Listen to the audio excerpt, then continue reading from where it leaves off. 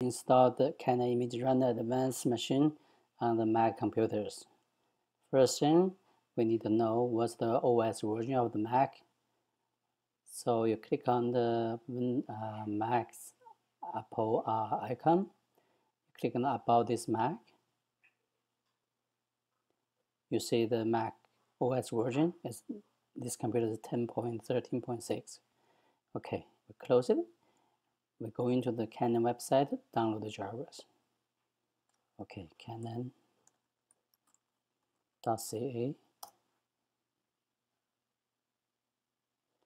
Then you click on the top, contact and support. You go into business support.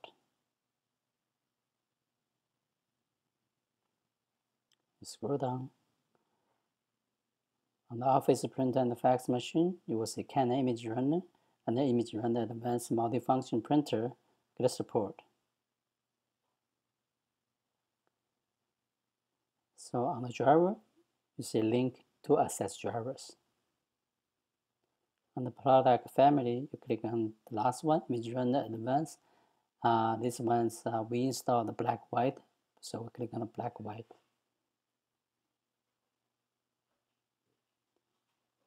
So we're going to install the model is image runner advanced uh, 4035 so it should be in this category.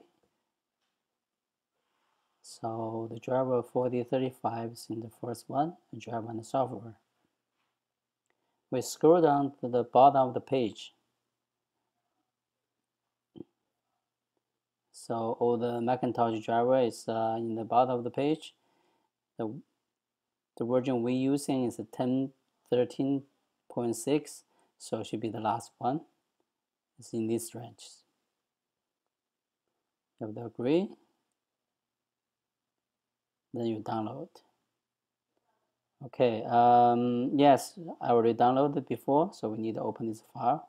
Okay, you have a wait to download the finish but here we just can open the previous downloads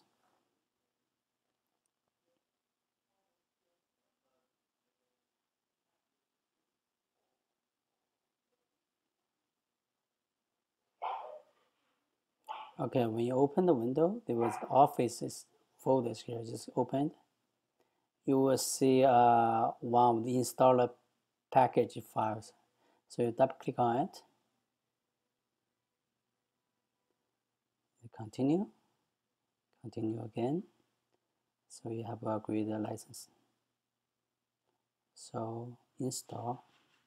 So you need to tap in the password for the the users for the Mac users okay? So the Mac computer installing the printer driver into the Mac systems.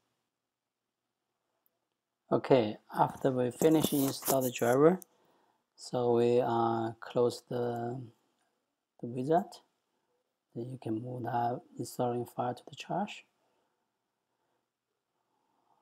okay then after this uh, we need to go into uh, install the other printer. Okay you go into system preferences. Go into printer and scanners. You click the add icon. Choose IP you type in your printer IP address Here's 192.16.1.220. Hmm. This one's different it depends on the printer IP address, so you need to get the IP address. On the protocol, you choose HP JetDirect socket.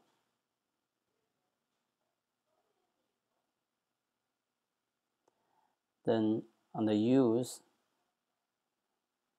you click on the select software.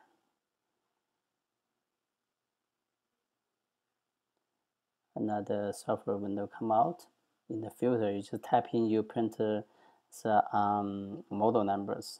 I'm installing 4035 advanced, so 4035. So the printer driver is here. Just filter and click OK. Click Add. okay here we go we have the printers here so all finished okay thank you